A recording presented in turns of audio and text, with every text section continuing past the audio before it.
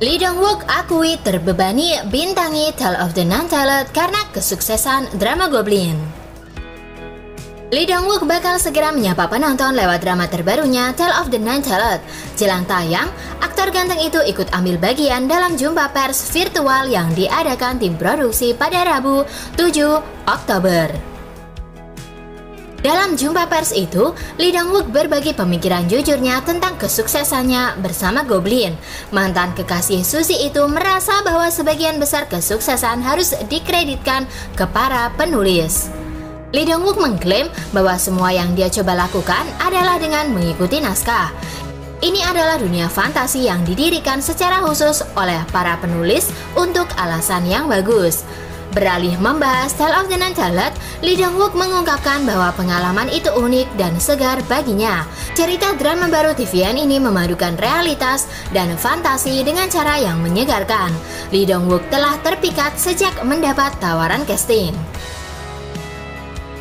Namun karena tanggung jawabnya terhadap pekerjaannya meningkat, Lee Dong Wook tidak dapat memungkiri bahwa dia merasa terbebani oleh kesuksesan masa lalunya bersama Goblin.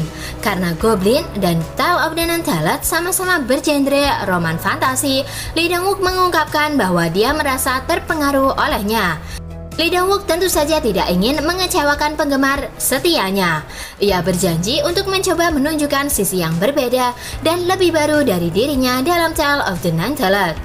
Tale of the Nine-Tailed mengikuti kehidupan Gumiho Yeon yang diperankan oleh Lee Dong Wook yang pernah memerintah sebagai dewa yang hidup di pegunungan Batu Degan, namun sekarang bekerja sebagai semacam pejabat publik antara dunia ini dan dunia bawah.